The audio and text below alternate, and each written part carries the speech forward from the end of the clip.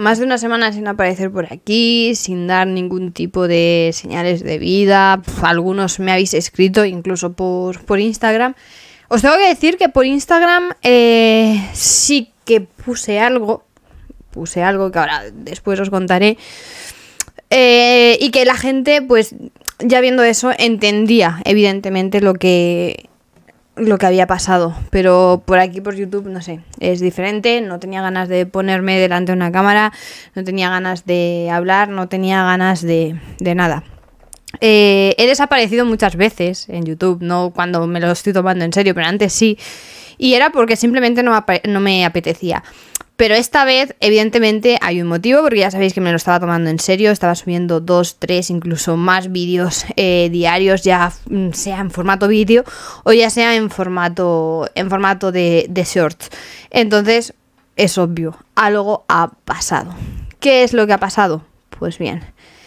Eh, una tía mía, por parte de, de mi padre, llevaba, bueno, lleva tres años, llevaba tres años muy malita. Mm, creo que no hace falta decir la, enfermedad, esa mierda de, enfermedad.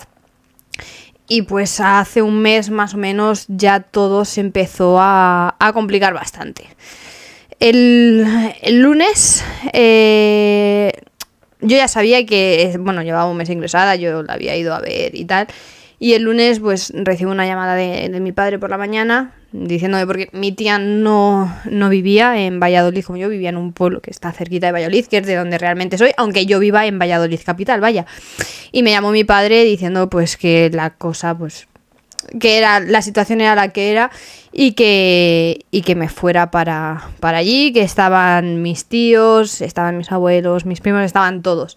Entonces, pues preparé rápidamente la maleta y, me fui para allí, para, el hospital, porque pues era momento de, pues, de estar con la familia, de, estar todos juntos y, de estar con, con ella.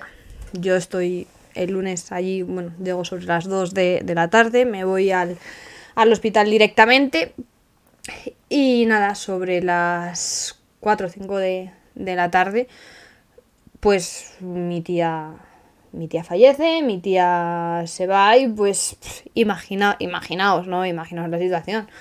Eh, yo estoy fuera de, de, Valladolid, evidentemente lo primero es lo primero, no, o sea, no tenía ganas de absolutamente nada y pues es que es eso, o sea, es que creo que es, que es algo obvio, algo normal de que no me apetezca grabar ni, ni nada, además ya no solo es el hecho de que haya muerto mi tía, sino que al mismo tiempo que le detectaron esa, enfermedad a mi tía, también se la detectaron a mi madre.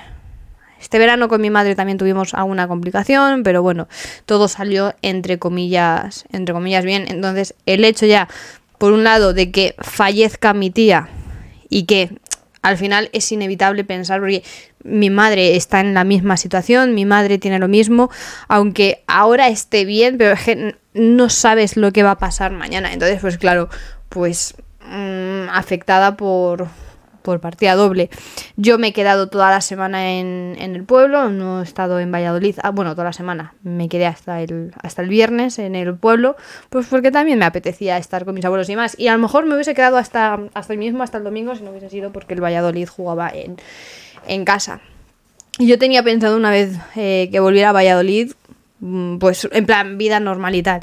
¿Qué pasa? Que me fui el viernes al partido con, mi novio y dije, pues mira, mm, ya que más me da un día más que un día menos, me he quedado todo el fin de semana en casa de, mi novio, mm, digo, desconexión total y, y ya está. Así que nada, eso, eso ha sido lo que ha pasado, que realmente tampoco tengo por qué contarlo, pero bueno, mucha gente me lo estaba preguntando y tal, han sido muchos días, no he dado señales de, vida ni, nada. Algunos incluso pensaban que a la que le había pasado algo es e, era a mí, entonces pues bueno, yo estoy bien, ya ha pasado todo, ahora pues proceso de duelo, de llevarlo pues lo mejor que, se pueda y, y ya está, es que no, no queda no queda otra. O sea, tengo clarísimo de que evidentemente mm, mi tía no, o sea, era una persona de un carácter bastante fuerte y no y no le gustaría que nada ni nadie estuviera mal por, por ella y eso también lo digo por si alguno de mis tíos o algo ve,